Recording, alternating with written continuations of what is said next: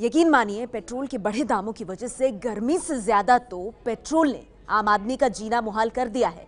और इस बीच सोशल मीडिया पर पेट्रोल के बढ़े दामों को लेकर के एक बिल्कुल नया तर्क दिया जा रहा है। ये कहा जा रहा है कि ईरान का उधार चुकाने के चक्कर में देश में पेट्रोल के दाम बढ़ गए हैं। दावे में कितना दम है? आइए पता लगाते हैं।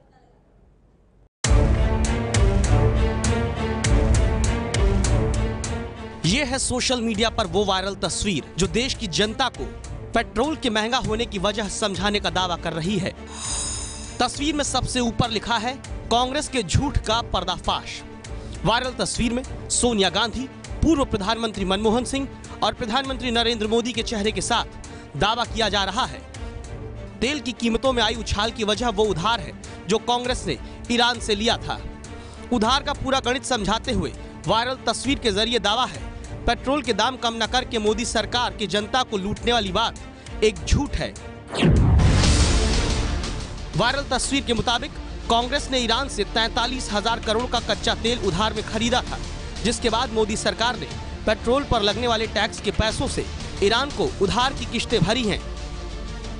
वायरल मैसेज को फेसबुक पर शेयर करते हुए निर्मल बालकृष्ण पाटीदार ने लिखा, साल 2004 से 2013 तक तैतालीस हज़ार करोड़ का तेल कांग्रेस ने उधार ही लिया था ईरान से, इसलिए भाव कम नहीं हो रहे हैं।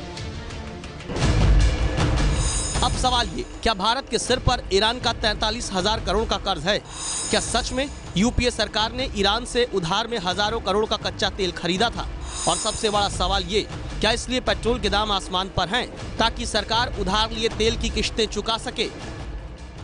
दावे के सच तक पहुँचने के लिए हमने यूपीए सरकार से, मोदी सरकार तक भारत और ईरान के बीच हुए तेल व्यापार के आंकड़े खंगालने शुरू किए।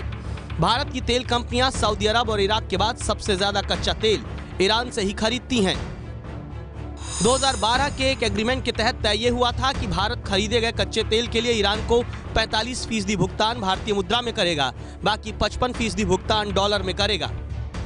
साल 2011 में अमेरिका ने ईरान पर परमाणु हथियार बनाने की वजह से प्रतिबंध लगा दिए थे और इसलिए साल 2013 में ईरान पर अंतर्राष्ट्रीय प्रतिबंध बढ़ने की वजह से तेल का भुगतान करने के सारे रास्ते बंद हो गए। नतीजा ये हुआ कि भारत की तेल कंपनियों पर तैतालीस हज़ार करोड़ रुपया बकाया हो गया।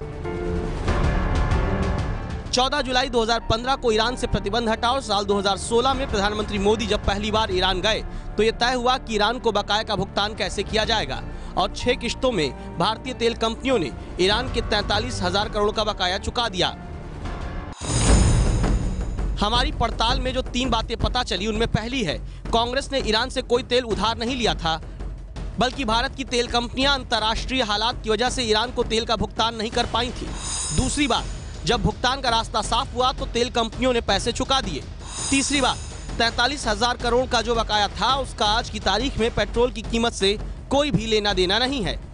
इस दावे के बारे में जब हमने पेट्रोलियम मंत्री धर्मेंद्र प्रधान से बात की तो उन्होंने इस मैसेज को पूरी तरह से खारिज कर दिया। इसीलिए हमारी पड़ताल में ईरान की उधारी के चक्कर में पेट्रोल महँगा होने का दावा झूठा साबित हुआ है। ये है एबीपी न्यूज़ आपको रखे आगे।